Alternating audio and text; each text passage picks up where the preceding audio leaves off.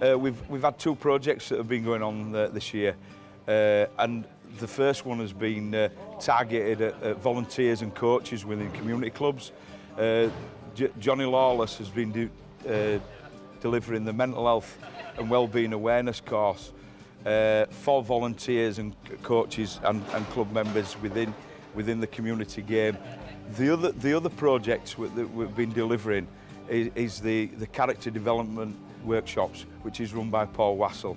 The character development as, and resilience course has been really, really well, well attended uh, by and are targeted by under 14s coaches uh, and their community players.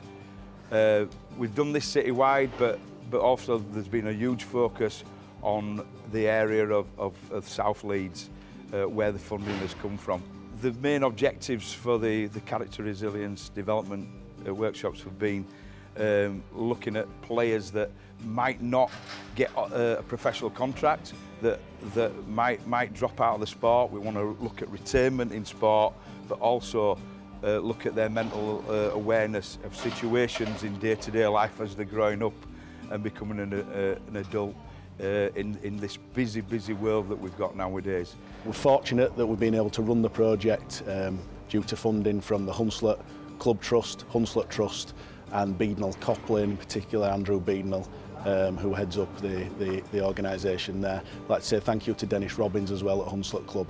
Um, it's a fantastic project. We're wanting to roll it out more across the city.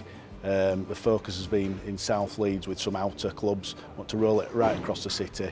Uh, I think it's fantastic in arming young people with the skills they need to move forward in life. As someone who's put money into it, it's the best thing I've ever spent money on.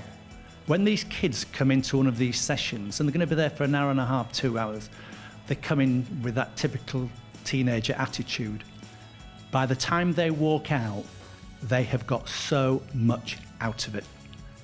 And what has been especially pleasing is I've heard coaches actually say to me at the end of it, God, I felt that myself. Uh, as someone uh, who's had a mental health issue in my own family, I know how important it is to talk about it. The worst thing is to bottle it up. One of the main reasons I got involved with the foundation was through Stevie Ward. As we all know, Stevie has had his issues. But by talking about it, he's brought so much out into the public. And personally, I have a lot to thank him for because that's why I got involved. mate, I'm massively, massively interested to come and, and be a part of it, being an ambassador. And um, I've had certain challenges in my life, mate, that, that have really, has really made me interested in this sort of stuff.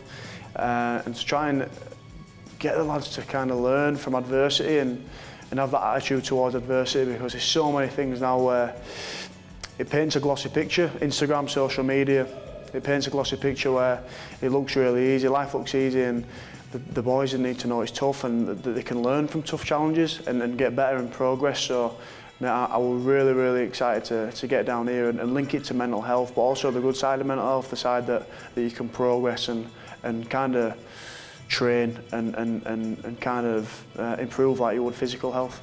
Mate, rugby league has been like the vehicle that I've lived my life, um, been able to live to my values and um, to my beliefs, but also it's, it's a two-way thing because I've grown up with rugby league, so it's, it's given me so much.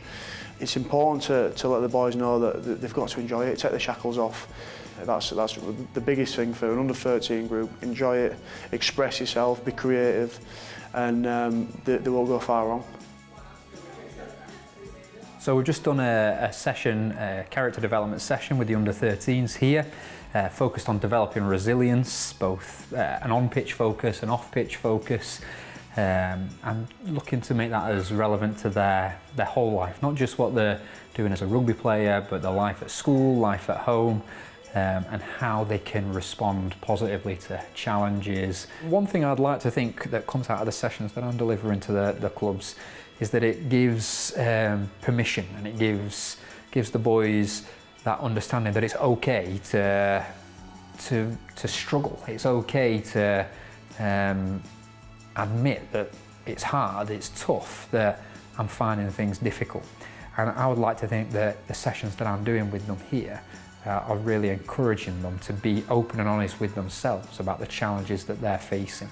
And I hope that gives a really strong foundation to build on in, in other work that coaches and people are doing with, with these boys in the long term. We've got to keep doing this and we've got to keep rolling. If we can get some more funding, keep rolling it on because we can see the benefits already for the coaches, members, also uh, adults within the clubs for the mental health awareness, but also for the kids in the resilience courses as well.